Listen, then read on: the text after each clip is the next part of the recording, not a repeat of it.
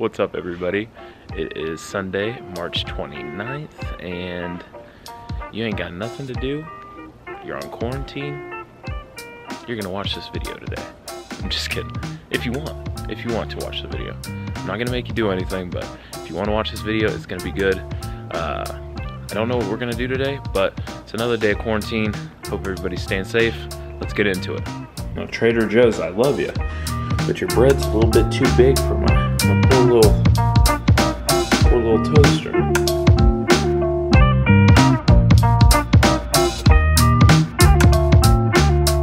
Alright, so I'm currently in my office and I had a kind of fun idea. I've tried this before and I'm gonna do it again because I do have some extra materials. But basically, um, as you guys saw yesterday, we got new couches and soon we're gonna be getting a new rug and a coffee table and it's actually gonna look like a home out in our living room and the dogs are not gonna ruin it this time, I'm sure of it.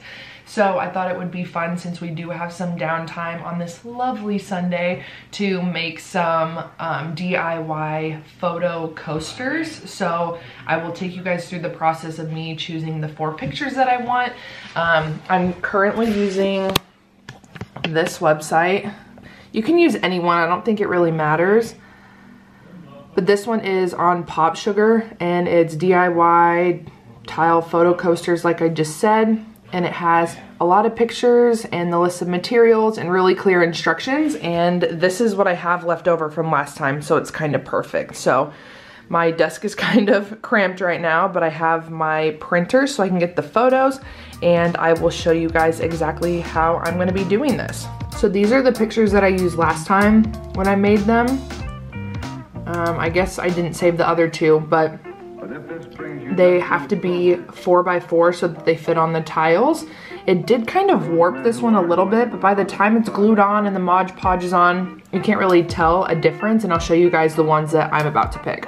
All right, and these are the ones I decided on. So they're all in 4x4 now. This is one of my favorite pictures of me and Andre from the summer. The pups, one of Ellie, one of Fred. The only problem is Fred is awfully dark. So when I put glue on his picture last time, it kind of just smeared it all over and we're gonna see if I can clean it up a little bit nicer this time.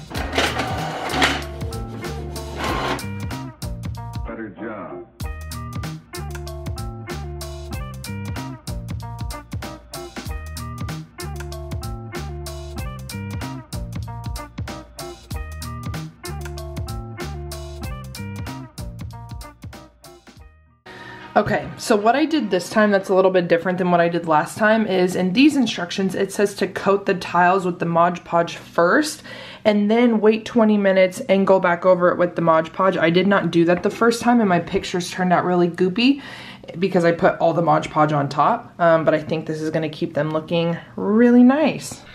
All right, so it has been 20 minutes since I did the layer of Mod Podge on the tile and then stuck the pictures on. Now the instructions are telling me to do another layer on top of the photo, let it sit for 20 minutes, do one more layer, and then I will catch you guys up after that.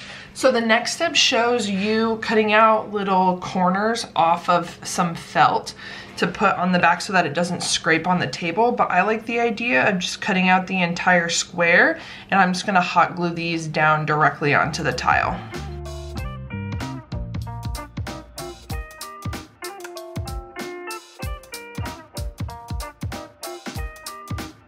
Okay, so here they are so far. They have a couple coats of the Mod Podge on them. They're a little bit streaky. I think I just used cheap paper. I used cheap ink in my printer. Um, but so far they look so good. I need to do one final coat of, what did they call it here? I need to do one final coat of a clear spray sealant, which I do have in the garage, so I'm gonna go ahead and do that, and then these will sit for probably about 24 hours, and then they are done, woohoo!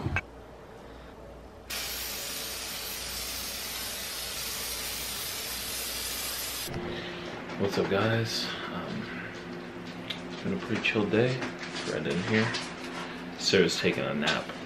And uh, I just had to fix up my Schoology courses for tomorrow. We're officially going back to school tomorrow. Even though it's virtually, um, we're still going back. So Uh, we're hopping into the knife unit now, so it's kind of interesting. I have a PowerPoint that I posted, some discussion boards, um, some links to some videos that I think are really interesting and, really give them a, a good in-depth look at the different types of knives that there are, chef's knives with the different metals uh, due to the knives, what's the best type of knife to use for what situation, uh, things like that. So uh, I just re-upped the Schoology course, and uh, yeah, I'm kind of interested to see how the how the kids are gonna do tomorrow. Um, should be interesting, and you know, I'll take you guys along for the ride. But right now, me and uh, Fred are just chilling. What you want to do, bub? um, so like I said, Sarah's taking a nap. I'll probably play some video games real quick. Um, might go, I don't know, she was talking about going to get Fuzzies uh, for takeout, which is like one of our favorite restaurants in Tempe. So might go grab takeout food, but I don't know. Gonna, I don't know. We'll see what we get into. If not, and this is the end, well, I hope you guys have a wonderful night. But I don't think this will be the end, so hang on just a second. We'll we'll see what we get into.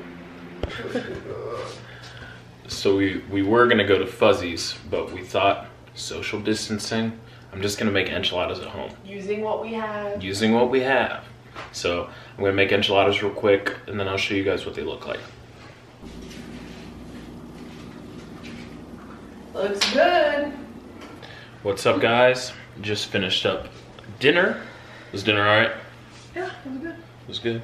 Now we are watching Bert Kreischer's new stand-up special on Netflix. I watched it the other day. It is hilarious, but I thought that Sarah should watch, so we're gonna be chilling out here on our new couches and uh, just gonna finish off the night by watching some good old comedy and and just hanging out. So yeah, that's it for today. And if you made it this far, thank you guys for watching. We appreciate the love and the support. And until tomorrow, remember, keep on grinding, keep on living. And uh, yeah, stay inside, stay safe. Peace. It's the 30th. Um, hey, babe, is it the 30th? Is it the 30th? 29th? Sheesh. Thank you.